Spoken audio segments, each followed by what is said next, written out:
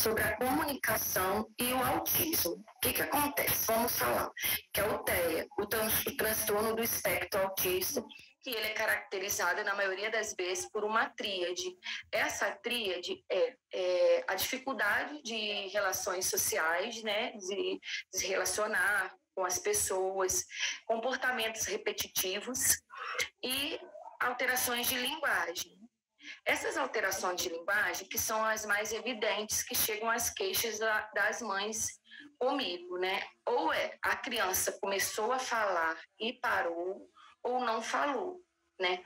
E o que, que acontece? Geralmente é um, uma característica mais marcante no autismo, que é essa dificuldade da comunicação, de emitir e receber as mensagens.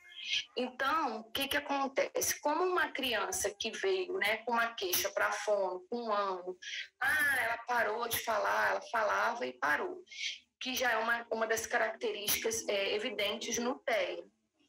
Então, o que, que a gente é, orienta essas mães? Que na maioria das vezes as mães me perguntam se ele vai falar. E eu coloco: o objetivo aqui é se comunicar, seja de uma forma verbal ou não verbal. Então, por isso que, que é essa dificuldade maior na comunicação, que muitas das vezes a criança fala assim, se ela tem uma ecolalia, se ela repete uma fala de um desenho, com certeza ela já fala. Ela só não se comunica, ela não emite e nem recebe as informações devidas porque ela não consegue fazer essa troca. Essa comunicação pode ser feita através de gestos, através de, de olhar, né? Por exemplo, quando a criança recebe um não, ela vai é, desencadear um comportamento. E esse comportamento é uma resposta ela está se comunicando através disso. Então, quero é, colocar para vocês que nem sempre uma fala será uma forma dela se comunicar. A forma de você apresentar, então, pelo que eu estou entendendo agora, em, em, todo, todo o processo, é que você vai ensinar o professor, você vai é, dar uma plataforma, você vai dar um meio ao professor de entender se ele estiver na frente de um aluno autista, como ele deve se comportar, como ele vai fazer. Ou seja, é, é, pelo que eu entendi, a sua plataforma vai ter inteligência suficiente para simular uma, uma, atitude de uma, de uma criança autista, para que ele saiba em si, sabe, olha, eu vou, eu vou agir dessa forma, se eu agir dessa forma vai acontecer isso, e dentro de um ambiente de, de, de, de sala de aula, o que, que eu posso, o que, que eu não posso, até onde seriam meus limites. Eu estou correto nisso aí? Sim, com certeza. Nossa plataforma hoje ela tem diversos especialistas. A gente não, não é, não sou eu que digo que o autista faz isso ou o autista faz aquilo, né?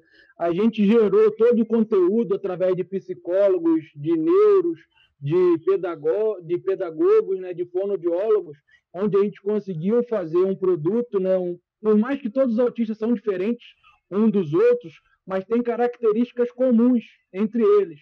E essa característica a gente vai abordar nesse simulador. São as características peculiares de, de, dessa, dessa, desses autistas que vão fazer de forma geral. Né? Então a gente vai conseguir implementar e passar todo esse conteúdo através da realidade virtual.